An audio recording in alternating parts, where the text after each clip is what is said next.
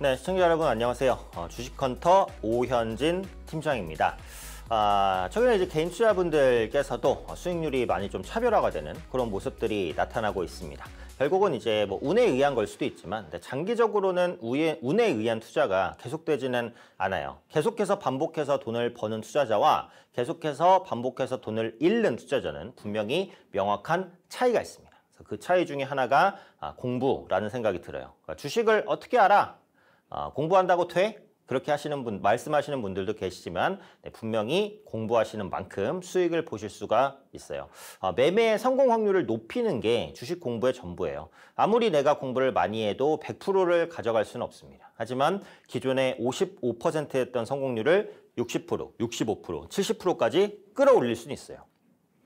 그렇게 끌어올린 어, 성공률을 반복하다 보면 결국은 나는 이기는 투자를 하게 되겠죠. 그게 주식 공부의 목적입니다. 네, 그래서 공부를 하시는 만큼 또 벌어가실 수 있다라고 저는 확신을 하니까요. 어, 주식 공부 어, 게을리하지 마시고 항상 노력하시면 좋을 것 같아요. 자, 오늘은 이제 기법인데 아, 종가 베팅 매매법이라는 내용입니다. 아, 종가 베팅 많이 들어보셨죠? 별거 아니에요. 그러니까 주식을 사는데 그냥 종가 부근에서 사는 겁니다. 그럼 종가 부근에서 왜 살까? 종가 부근에서 사는 게 왜 유리할까?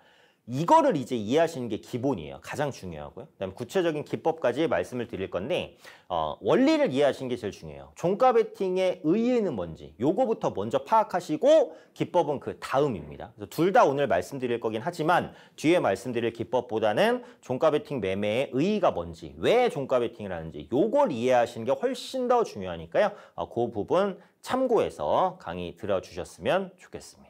아, 오늘 저의 강의는 채널에 다 올라갑니다. 지난 강의 못 보셨다? 괜찮아요. 채널에 있습니다. 그것도 풀버전 강의로 있어요. 네, 화면 하단에 있는 QR코드에 핸드폰 카메라 열고 되시면 저희 채널 추가하실 수 있습니다. 그래서 채널 추가해 놓으시면 어, 채널 통해서 저희 지난 강의들 모두 다 이제 보실 수 있습니다. 쉽게 설명해 드렸으니까요. 처음 주식하시는 분들도 보시면 도움이 되실 겁니다. 많이 많이 보시고 반복해서 공부하시고 성공 투자 하셨으면 좋겠습니다. 자 그럼 오늘 종가 베팅 매매법 들어가 볼게요. 종가 베팅이란 뭘까? 음, 장중 오후장 후반이죠. 3시 이후 혹은 뭐 3시 20분 이후 동시효과를 이용한 매수법이다.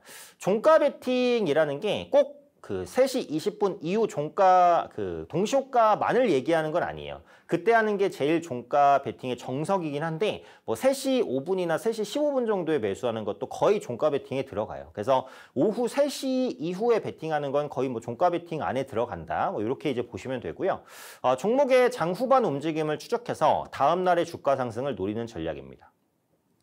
종가에 사는 이유는 뭐예요? 종가에 사는 이유는? 어, 다음 날의 상승을 일단 1차적으로 노리는 거잖아요. 그죠? 그렇기 때문에 종가에 사는 거잖아요. 어, 장이 마치게 되면 다음 장이 열릴 때까지 밤이 한 번 지나고 아침에 와야 되니까 그 시간 동안 어떤 이슈가 나올지는 정확히는 알 수 없지만 그 리스크를 감안하더라도 다음날 아침에 상승을 노리겠다라는 게 종가 베팅이라는 거죠. 유리한 부분도 있어요. 뭐죠? 장중 변동성에 휘둘리진 않아요. 내가 종목을 오전 한 10시에 샀어요. 근데 오전 12시에 뭐 예를 들어서 어떤 국지적인 이슈, 뭐 전쟁이라든지 아니면은 뭐 어떤 굉장히 큰 회사의 파산이라든지 이런 이슈 때문에 시장이 전체적으로 낄 수 있잖아요. 그럼 내가 종목 10시, 아, 10시에 종목을 잘 샀어도 시장 영향 때문에 손실을 볼 수도 있잖아요. 근데 종가 베팅을 하면 일단 장중에 휘둘리면은 어, 연관되지 않습니다. 그죠? 그래서 그런 부분에 유리함이 있다라고 보실 수 있겠죠. 자, 종가 베팅은 기본적으로 overnight 방식을 취합니다. 어, 증권에서 많이 쓰는 요, 요, 용어인데 아, 별거 아니에요. 어, night는 이제 night죠, night. Overnight. 밤을 넘긴다는 거예요. 그래서 다음 날 어, 시세를 노리는 방식을 취한다라는 부분이고요. 장중 지수와 주가의 변동성을 피하고 다음 날의 상승을 노리는 전략입니다. 아까 설명드렸던 내용처럼 장중 지수의 주가 변동성을 피할 수 있죠. 네, 종가에 사니까요. 그 다음 날의 상승을 노리는 전략입니다. 다음 날 오전에 상승을 기본적으로 노리는 전략입니다. 그렇다고 뭐 다음 날에 꼭 팔아야 되냐 그건 아니에요. 다음 날 상황을 보고 뭐 가져갈지 팔지 그럼 그때 가서 결정을 하면 되겠죠. 자 그럼 왜 이제 종가 베팅을 또 하냐 이 부분인데 어, 장중 거래량은 장 시작 직후가 가장 많아요. 아시죠? 아, 오전 9시부터 9시 반까지 거래가 엄청 많습니다. 그 점심시간 갈수록 줄어요. 계속 줄다가 오후장 갈수록 다시 늘어서 종가 부근의 거래량이 다시 늘어나요. 종가 부근으로 갈수록 거래가 늘어나는 경향이 있어요. 쉽게 말하면 보다 많은 거래량에서 매수하고 많은 거래량에서 매도하는 전략이 종가 베팅이에요. 어, 종가로 갈수록 거래가 많아진다고 했잖아요. 그러니까 거래가 많은 위치에서 매수하는 거죠. 그 다음 날 오전에 매도를 노린다면 다음 날 오전 거래가 많은 곳에서 매도하는 거죠. 거래가 많을 때 매수해서 거래가 많을 때 매도합니다. 이게 뭘 의미를 할까? 어, 주식을 사서 내가 손실이든 수익이든 보려면 일단은 주가가 움직여야 됩니다. 주가가 움직이려면 사는 사람이든 파는 사람이든 있어야 되고 많아야 돼요. 그게 바로 거래량입니다. 따라서 거래량이 많다는 것은 뭐죠? 주가가 하락이나 상승을 할 가능성이 높은 위치라는 거예요. 어쨌든 횡보하지는 않을 것 같은 위치라는 거예요. 그 위치에서 공략하는 게 종가 베팅이라는 거예요. 그래서 거래량이 많은 곳에서 사서 많은 곳에서 판다는 건 내가 다음날 수익을 볼지 손실을 볼지는 모르지만 수익이든 손실이든 확실히 결론은 나겠구나 라고 생각하는 위치에서 산다는 거예요. 이것의 유리한 점은 뭐죠? 기회비용을 보전할 수 있죠. 보통 이제 주식 매매를 할때 어, 우리가 손실이라고 생각하는 게 뭐냐면 주가가 하락할 때만 손실이라고 생각하는데 그렇지 않습니다. 왜 그렇지 않냐? 내가 만 원에 어떤 종목을 샀어요. 1년 뒤에 9천 원이 됐어요. 손실 봤나요? 이건 뭐 말할 것도 없이 손실 봤죠. 자 다시 만 원에 샀는데 1년 후에 만 천 원 됐어요. 수익인가요? 이건 누가 봐도 수익 맞아요. 그런데 내가 만 원에 샀는데 1년 후에도 만 원이에요. 손실 봤나요? 똑같이 만 원이니까 본전이다? 아니죠. 손실을 봤어요. 왜? 1년 동안의 기회비용이 소진됐죠. 그 1년 동안 예금에 넣어놨으면 이자만 받아도 이익인데 주식에 넣어나가서 이자도 못 받았잖아요. 그 종목이 만약에 배당을 안 주는 종목이라고 가정을 해볼게요. 안 주는 종목이면 만 원에 사서 1년 뒤에도 만 원. 손해입니다. 주식 안 떨어졌어도. 시간적인 기회비용이라는 게 있잖아요. 어, 금리 정도의 손해만 보냐? 아니요. 그 주식을 보유하면서 기다려고 어, 마음 졸였던 그 시간도 손해입니다. 심리적인 손실도 있는 거예요. 네. 그래서 본전에 사도, 그러니까 만 원에 사서 후에 만 원이 됐어도 시간적 기회비용은 손실이다. 근데 이렇게 거래량이 많은 위치에서 사면 이런 손실을 많이 피할 수가 있어요. 그게 종가 베팅의 장점 중에 하나다라고 보셔도 된다는 겁니다. 어, 보시면 이게 이제 시간대별 거래량인데 지금 위로 밑에 보시면 불쑥불쑥 튀어나와 있는 게 오전이에요, 오전. 오전 거래량이 제일 많고. 그 다음에 거래량이 쭉 줄다가 뒤에는 다시 올라가요. 네, 종가 부근으로 갈수록 거래량은 다시 올라가요. 네, 그래서 거래량이 많은 위치에서 매수하는 게 종가 베팅의 특징이다 라고 해석을 하시면 된다는 거죠. 어, 이 부분이죠. 네, 변동성이 있어야 수익이 있어요. 변동성이 없으면 수익이 없습니다. A 종목이 엄청 좋은 종목인데 아무도 안 팔고 아무도 안 사요. 그럼 주가가 어떻게 될까요? 안 올라가요. 그죠? 뭐 삼성전자가 지금 뭐 6만 원이라고 가정을 해보고 해봤을 때 근데 6천 원까지 떨어졌어요. 삼성전자의 기업 가치는 견고한데 그러면 와 펀더멘털적으로 싸다 이렇게 느낄 수 있죠. 근데 아무도 안 사면 주가는 어쨌든 안 올라가요. 변동성, 즉 사는 사람과 파는 사람이 있어야 수익도 있는 겁니다. 그래서 변동성이 큰 종가에 공략해서 변동성이 큰 오전장 초반에 매도해서 짧은 시간에 큰 수익을 거둘 수 있는 게 종가 베팅의 매력인데 어, 다음 날 오전에 꼭 매도해야 되는 건 아니다라고 말씀드렸죠. 어, 종가 베팅 했는데 이것 좀 가져가도 되겠는데? 어, 뭐 스윙이나 이렇게 이제 일주일, 이주일, 한 달 뭐 이렇게 가져갈 수도 있는 거예요. 그건 뭐 흐름에 따라서 case by case. 근데 종가 베팅은 보통은 이제 다음 날 매도할 목적으로 사기는 합니다. day trading이라고 볼 수 있겠죠. 아, 그래서 지금은 기법이에요. 근데 기법인데 어, 아까 제가 말씀드렸죠. 원리와 기법 중에 뭐가 중요하다고요? 원리가 훨씬 중요합니다. 그러니까 제가 앞서 이제 말씀드린 강의 내용이 훨씬 더 중요해요. 원리예요. 그러니까 지금은 이제 기법입니다. 네, 원리를 알아야 기법도 쓸 수가 있어요. 네, 아시겠죠? 이 부분 꼭 기억해 주시면 좋을 것 같아요. 자, 오늘은 종가 베팅 매매법입니다. 기법인데 종가 베팅을 왜 하는지 이걸 설명을 드렸어요, 앞서. 그게 훨씬 더 중요하니까 그 부분을 꼭 기억하시고요. 어, 이 강의 또 처음부터 보실 분들, 지난 강의 보고 싶으신 분들 모두 다 들어오세요. 환영합니다. 화면 하단에 있는 QR코드에 핸드폰 카메라 열고 계시면 저희 채널 추가하실 수가 있습니다. 우선 이제 채널을 추가해 놓으시면 어, 저희 채널에서 저희 지난 강의들 다 보실 수 있도록 네, 오픈을 해 드렸고요. 어, 풀 버전 강의까지 다 올려져 있습니다. 어, 보시고 공부하시면 수익 나실 수 있도록 제가 세팅해 놨으니까요. 어, 오셔서 보시고 공부하시고 네, 수익 보시면 좋을 것 같아요. 그리고 동영상 강의니까 네, 장점이 있죠. 뭐죠? 반복해서 볼 수 있다는 거. 반복해서 계속 볼 수 있습니다. 네, 계속. 계속 봐도 누가 뭐라고 하는 사람이 없죠. 네, 반복해서 계속 보고 익히고 어, 연습할 수 있다는 거. 그래서 많이 들어오셔서 공부하시면 좋을 것 같아요. 자, 그럼 기법으로 넘어가 볼게요. 어, 이렇습니다. 주가가 20일 이평선 돌파 또는 위에 있을 것, 네, 매물대가 적어야 된다는 소리고요. 최근 20거래일간 주가가 최고점을 돌파 해야 될 것. 20거래일은 1개월을 의미합니다. 한 달에 20거래일이 있으니까요. 대략적으로. 그래서 주가가 최고점을 돌파해야 되고 전날 거래량의 150% 이상 발생해야 된다. 거래량이 있어야 수익도 있으니까 거래량이 크게 발생할 때 매수를 하는 게 좀 더 유리하다. 이렇게 보시면 되겠고요. 동일 sek터 내 종목군과 동반 상승 시 유의하다. 예를 들어서 내가 뭐 현대차를 살 건데 어, 기아차가 같이 올라가고 있으면 성공 확률이 더 높다 라는 겁니다. 이 부분이고요. 어, 종가까지 플러스 5% 이상의 깨끗한 양봉을 만들 것. 네, 양봉이 이제 윗골이 달린 것보다 윗골이가 없는 깨끗한 양봉이 더 좋아요. 왜 그런지는 제가 지난 강의에서 설명해 드렸으니까 또 지난 강의 못 보신 분들은 보시면서 익히시면 될 것 같습니다.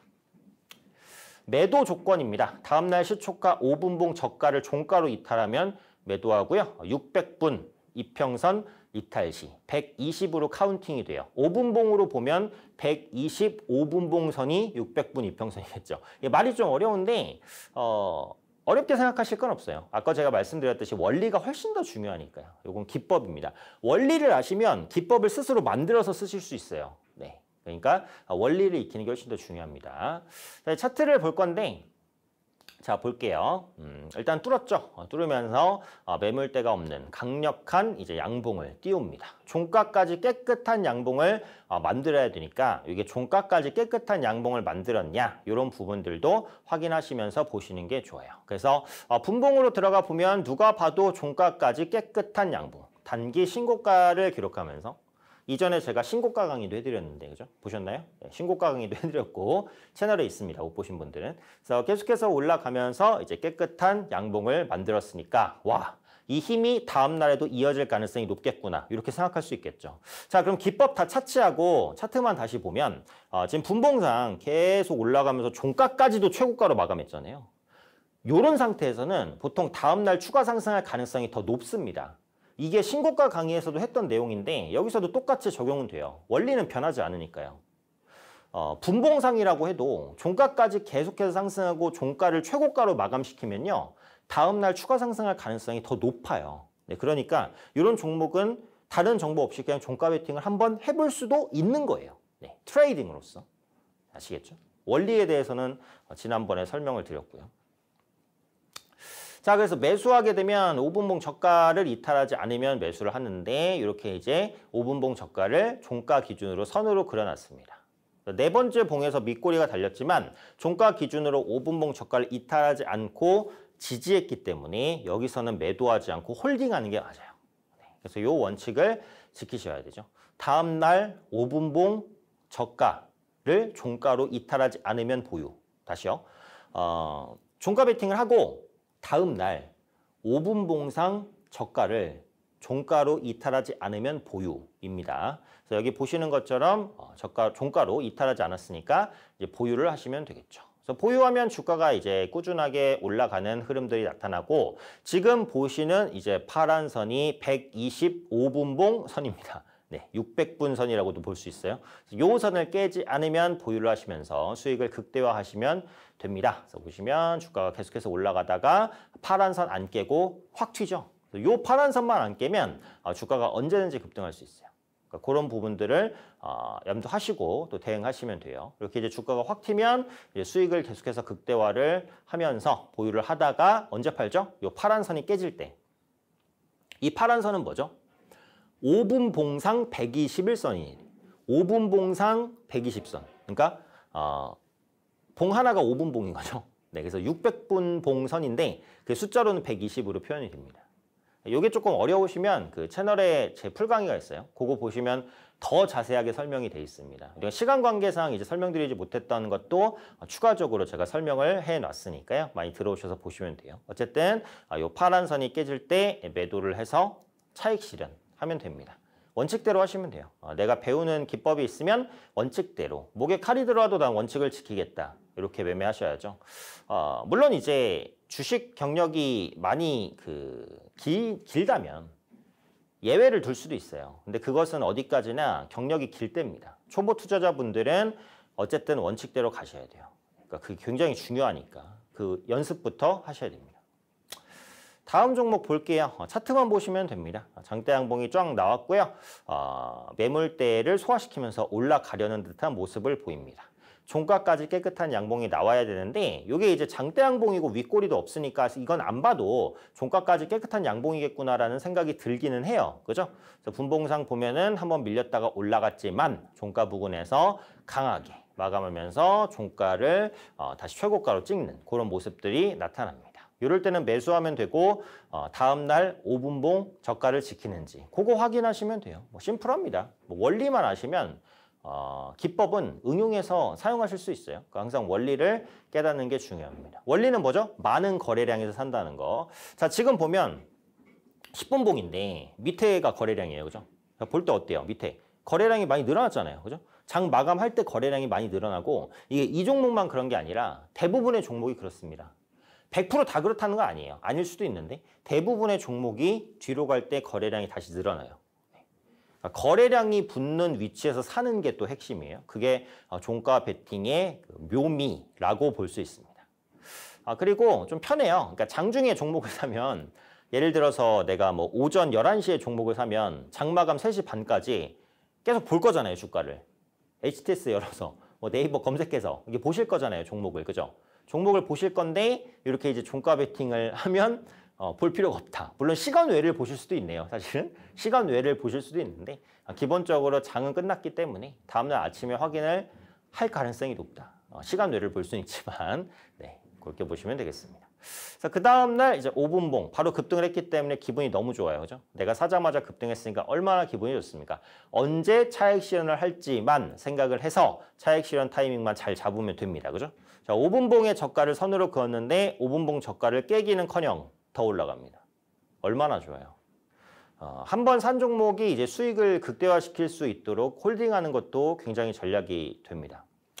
어, 보통 이제 매수한 종목이 플러스 한 10%, 15% 이렇게 올라가면 그냥 무지성으로 매도하시는 분들이 많은데 그런 종목이 50%, 100% 가는 일도 어, 빈번하게 발생을 하거든요. 이런 수익이 내 계좌 수익을 크게 증식시켜 줍니다. 그래서 이런 기회를 놓치지 않으려면 올라갔다고 해서 무조건 차익 실현을 하시면 안 된다라는 거죠. 반대로 떨어졌다고 해서 무조건 홀딩을 하셔도 안 된다라는 거죠. 상승하는 종목을 보유할 때든 하락하는 종목을 보유할 때든 보유에 대한 근거가 있어야 됩니다. 매도할 때는 매도에 대한 근거가 있어야 됩니다. 왜 매도를 하는지 이게 중요한 거죠. 뭐 단순히 돈이 필요해서 매도한다. 요거는 이제 정, 정확한 적당한 근거가 아니죠. 그건 개인적인 근거죠. 차트가 무너져서 혹은 뭐 실적이 안 좋을 것 같아서 이런 이유가 있어야 매도를 하셔야 된다는 거지. 무지성으로 매도하시면 안 된다는 거예요. 그럼 여기서의 이유는 뭐예요? 네. 다음 날 5분봉의 저가죠. 이탈하지 않았으니까 보유한다. 심플합니다. 그래서 요 파란 선이 중요한데 정말 신기하게 요 파란 선을 딛고 또 올라갑니다. 그래서 이게 이 120선이 되게 중요한 거거든요. 그래서 요 부분을 딛고 올라가면은 이제 보유를 하면 된다라는 부분입니다. 왜 120선에서 반등할까? 요건 이제 이평선 지지 원리와 비슷합니다. 아, 제가 이전 강의에서도 이평선 강의도 있으니까요. 아, 그 강의도 못 보신 분들은 채널 추가하셔서 시청하시면 충분히 도움이 되실 거라고 생각을 합니다. 자, 이 파란 선을 깨면 어떻게 하면 되죠? 매도하면 됩니다. 어, 고전에 매도했으면 더 수익이겠네? 맞죠? 하지만 제가 항상 뭐라 그러죠? 주식 매도는 예측이 아니라 대응입니다. 매도 신호를 줄 때 매도하는 거지 어 매도 신호를 줄 것 같아 라고 해서 매도하는 게 아니에요. 줄 것 같아 라고 해서 매도했는데 안 주고 올라가면 억울하잖아요. 그죠? 그러니까 주식 매매라는 것은 항상 매수 신호가 올 때, 매수 근거가 있을 때 매수하는 것이고 매도는 매도 신호가 올 때, 매도에 대한 근거가 있을 때 매도하는 겁니다. 여기서는 매수와 매도의 근거를 제가 100% 설명을 드렸죠. 다른 매매도 마찬가지입니다. 다르지 않아요. 자, 볼게요. 역시 이제 어, 돌파를 합니다. 약간 매물대를 소화하고 강력한 상승을 보여주는 듯한 움직임들. 어, 종가까지 깨끗한 양봉이 나와야 된다는 것 반복해서 말씀드리고 있습니다. 그다음에 이제 5분 봉상 저가를 지지를 하고 또 파란 선 쭉쭉 타고 가면 된다라는 부분까지 반복해서 말씀드렸죠. 어, 저는 이제 보통 이제 기법 설명을 할 때는 예시를 많이 들어요. 그러니까 한두 개로 끝나는 게 아니라 세 개 이상까지는 보통 예시를 어, 들어드립니다. 왜? 반복하는 게 중요한 거거든요.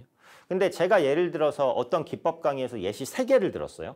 근데 그 동영상을 한 번 더 보면 여러분들을 몇 번 보시는 거예요?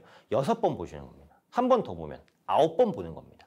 그 정도까지 보면 네, 이해를 하기 싫어도 이해를 하게 됩니다.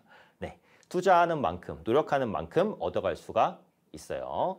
그래서 5분봉 저가를 깨지 않으면 어, 홀딩인데 5분봉 저가를 깨면 이제 매도를 한다라는 거죠. 아, 마지막 하나만 더 볼게요. 이 종목도 보시면 뭐 종목은 중요치 않아요. 차트만 보시면 됩니다. 아, 종가로 이제 뚫고 나갔으니까 여러분들이 매수할 땐 종목이 중요하겠죠. 요건 강의니까 그렇다는 겁니다. 자, 차트가 뚫고 돌파를 합니다. 종가까지 깨끗한 양봉이기 때문에 어, 그 매수를 하실 수 있죠. 종가 베팅 할 수 있어요. 역시 종가 부근에 거래량이 크게 증가한 것을 확인하실 수가 있습니다. 그래서 다음날 5분 봉상 저가만 이탈 안 하면 되는데 다음날 갭상승을 했으니까 정말 기분 좋아요. 사자마자 바로 큰 수익이 났습니다. 5분 아, 봉 저가면 이탈 안 하면 계속해서 홀딩해 나가시는 전략으로 짜시면 된다라고 말씀을 드려요. 그리고 5분 봉 저가를 이탈하면 그때 차익 실현하시면 됩니다. 어렵지 않죠? 원칙대로만 하시면 돼요.